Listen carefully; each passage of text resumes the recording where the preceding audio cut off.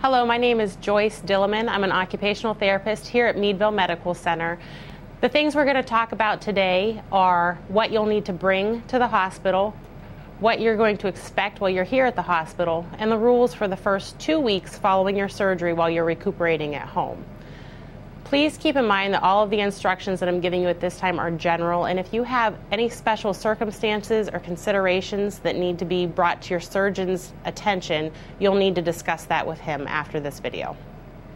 You will not need to bring any other equipment that you may have been gathering or getting in preparation for the surgery.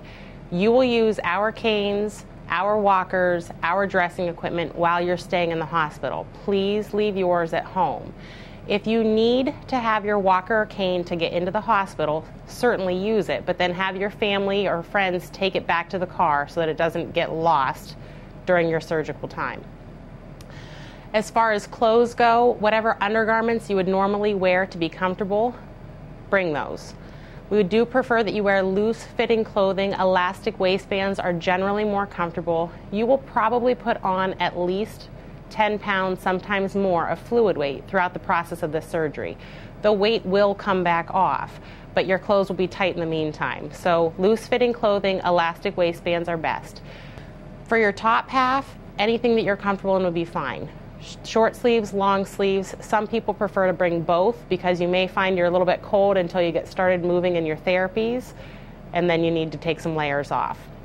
We do also want you to have regular shoes to wear, something with a, a nice non skid sole, and preferably something that goes around the back of your heel so you're not shuffling along trying to keep your feet shoved into your shoe.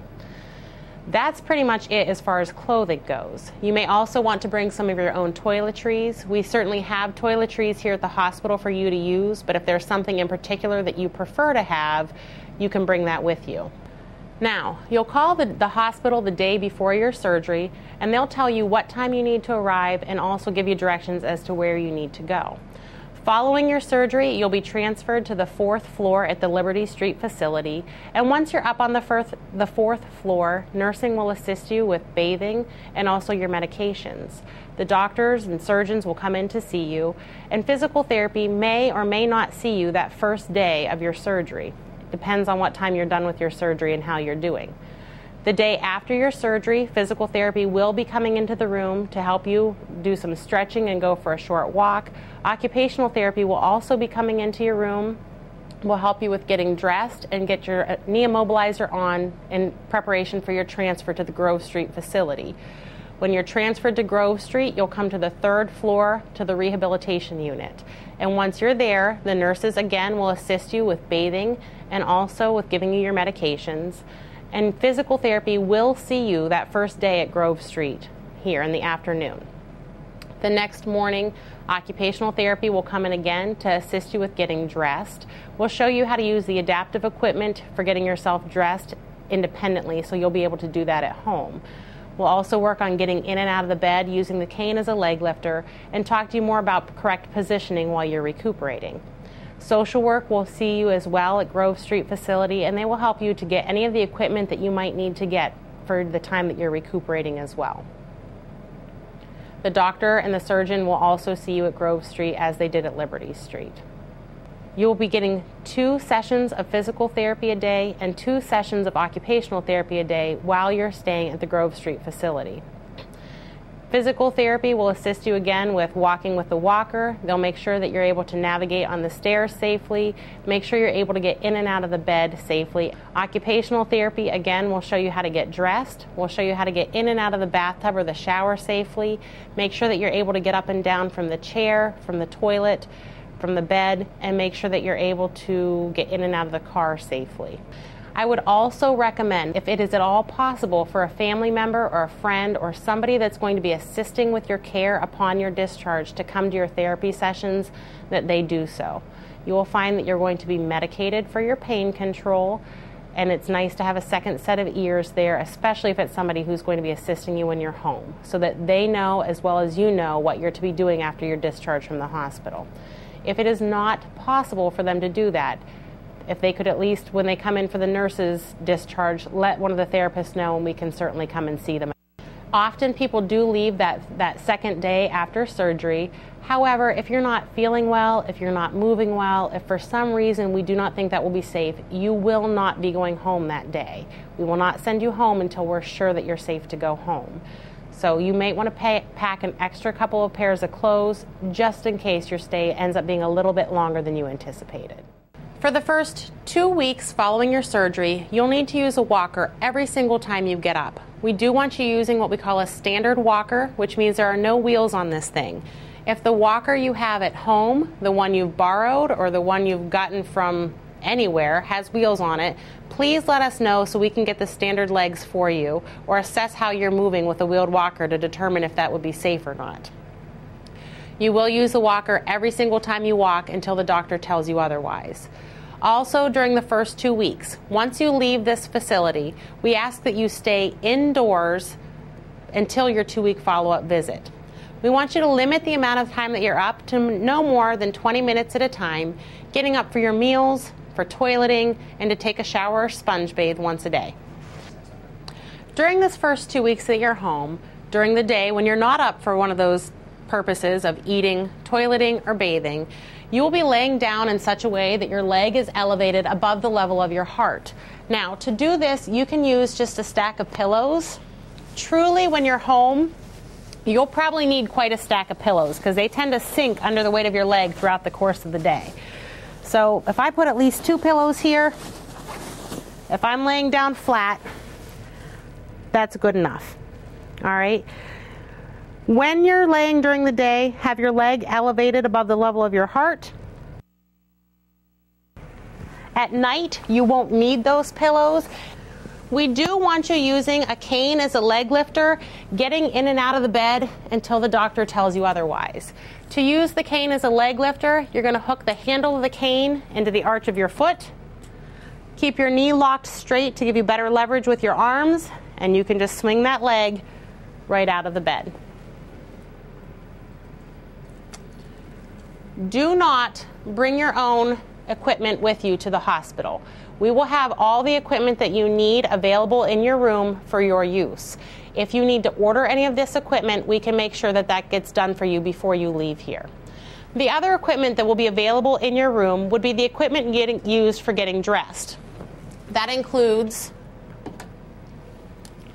the reacher, which is used to get your shoes and socks off as well as for getting your underwear and pants on.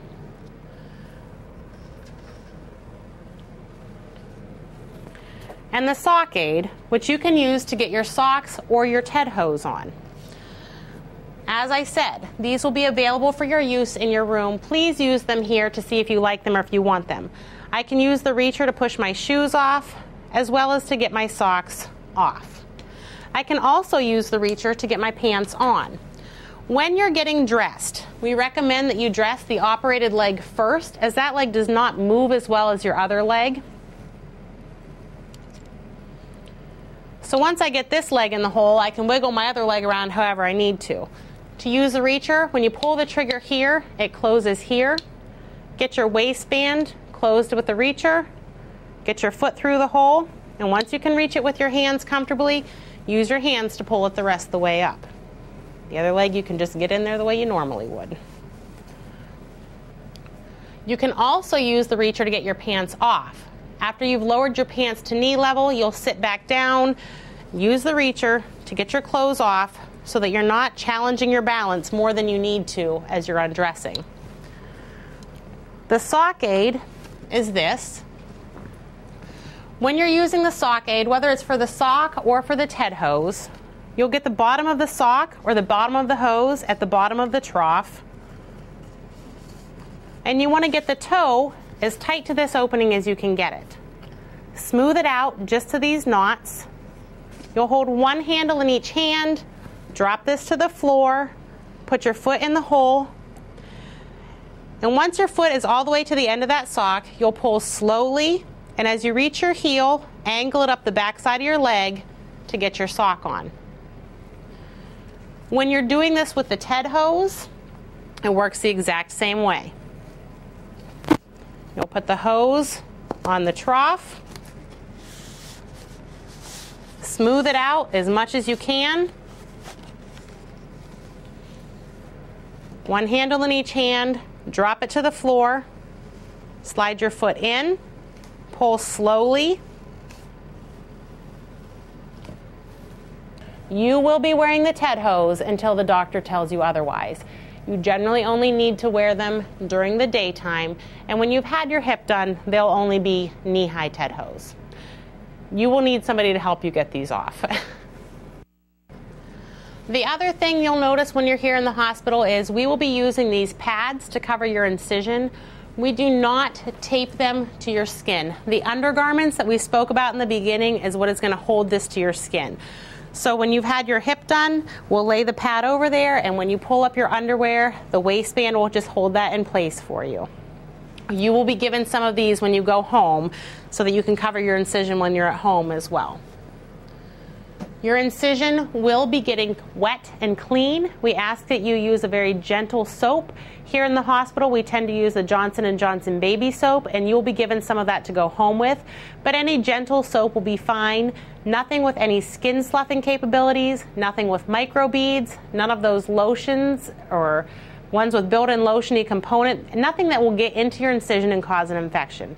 Simple soap and water, dry it and leave it alone. Nothing else will go anywhere on or near your skin where the incision is. The last thing that we need to cover today is how to get safely in and out of the bathtub shower.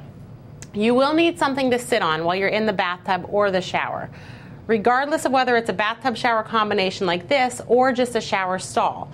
If you have a shower stall, I do not recommend that you sit on a built in shower seat.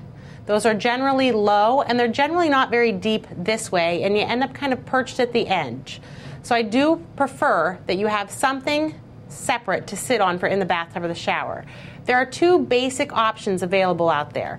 This option is what we call a shower bench. It sits both inside and outside of the sh- bathtub shower. The second option is what we call the shower seat, which is this, and this one sits entirely inside the shower.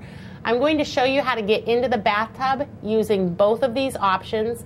Please know that neither of these are covered by insurances of any kind. This is an out of pocket expense. I would prefer if you don't already have something that when you're here we can practice on both to, so you can see what you like better and we can get you whatever you need. All right. When you're using the bath, the bath bench, you'll back right up to that seat, lower yourself down gently, and then you can use the cane as a leg lifter to get your legs up and over the edge of the tub.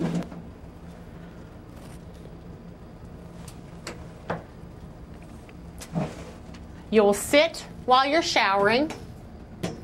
And when you're done, have somebody bring the cane back so you can get your legs back out.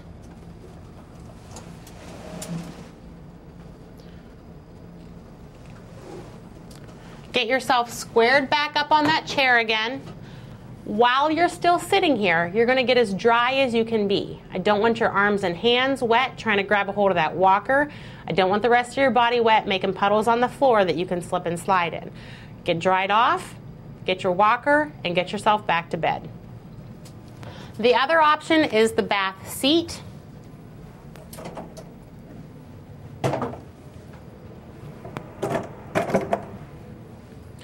This sits entirely inside the bathtub or shower.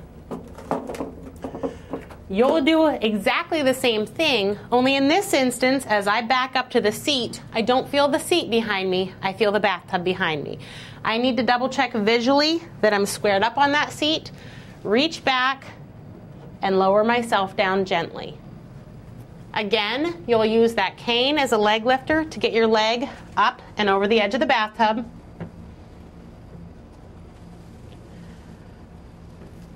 And again, you will sit the entire time you're showering. When you're done, get that cane back. Get your legs back out of the tub.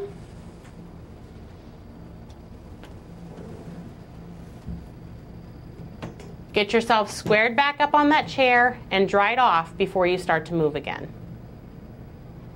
The last thing we need to discuss today are your hip precautions. These are the rules that will be in place until your doctor tells you otherwise. These are things we do not want you to do with your new hip. Your first rule is no bending past 90 degrees. Now, when we're talking about 90 degrees, we're talking about the angle between your torso and your thigh. So when I'm sitting upright right now, I'm at 90 degrees of bend. You can go back as if to lay down, but we don't want you going forward towards your feet, which means you will have to use the adaptive equipment for getting dressed until the doctor tells you otherwise. That also means if you're sitting in the shower and you need to adjust the temperature of your water, you will not be able to bend forward to adjust the temperature of your water. That also means if you're laying flat in bed and all your pillows just got shoved around your feet, you will not be able to bend forward past 90 degrees to straighten everything out. That also means if you're sitting down eating your breakfast and you were looking at the paper while doing so and the paper just slid to the floor, you will not bend over to pick that up. I would recommend that you keep that reacher with you throughout the day.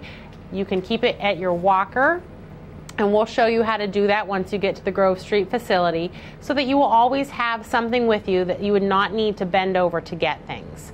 So the first rule for your hip precautions, no bending past 90 degrees. The second rule is no crossing your legs. Obviously you will not be sitting like this, like this. That also means you will not be kicking your shoes off like this, or itching that spot on the back of your leg with your other foot like this. We would like when you're laying down during the day to have the pillows that are under your knees, at least one of them going in between your legs as well, so that you do not accidentally cross while you're lying in, in down during the day resting. You will not be able to sleep on your side until the doctor tells you otherwise. As soon as I get onto my side, Gravity pulls my leg down into that crossed over position. So no bending and no crossing. The last rule is no twisting over that new hip. That means if somebody has brought your clothes to your bedside for you to get dressed in the morning and the phone rang and they went to get it and they dropped your clothes over here, you're not going to twist all the way over like this to grab those clothes because you've just twisted over your new hip. That also means when you're going to move with your walker, and I'm going that way, I'm not going to move my walker and then just twist along behind it. You'll need to take small steps when you're turning with your walker, keeping your walker and, and your body pretty much in the same general direction so that you're not twisting over that hip. That also means that you may find when you're in the hospital and that extra fluid weight is on that you have difficulty wiping. Now, the seats of the toilet have handrails here. You can't twist this way to get anything. You can't get there from the front. You'll have to stand to wipe with the walker in front of you. Make sure all of that motion comes from your hand and then you're not doing a giant twist over that hip to get to things when you're wiping or when you're getting cleaned up in the shower. You will be getting a handout about your hip precautions. We'll go over them more in detail while you're in the hospital. But please keep in mind all of these rules are in place until the doctor tells you otherwise, and that will be beyond the first two weeks. This is important that you follow these hip precautions so that your hip does not dislocate and that that soft tissue can heal the way it needs to heal to keep everything in place. So to review, for the first two weeks following your surgery, we do want you to stay at home, in your home, while you're recuperating. Do not step outdoors again until you're going to get in your car for your two week follow up visit. Make sure you're using a walker every single time you walk until the doctor tells you otherwise. Please limit the amount of time that you're up to no more than 20 minutes at a time, getting up for meals, getting up for toileting, and getting up for showering at least once a day. We also want to make sure that when you're laying down during the day, you have your leg elevated above the level of your heart, generally with a stack of pillows under your knee to keep that leg up and that hip in a comfortable position. Please make sure that you do not do stairs more than once a day, and when you go back for your two week follow up visit, the doctor will tell you what's next. If you have any questions in the meantime, please feel free to call the nurses station here on the rehab unit. The number is 814 333 5320. The nurses on this unit are excellent. They know the doctor's protocols inside and out. If you have any questions, they'll be able to answer them for you. If there's something that they can't answer, they will get a hold of the doctor and find out for you so that either he or they can get back to you. So do not hesitate to call if you have any questions at all.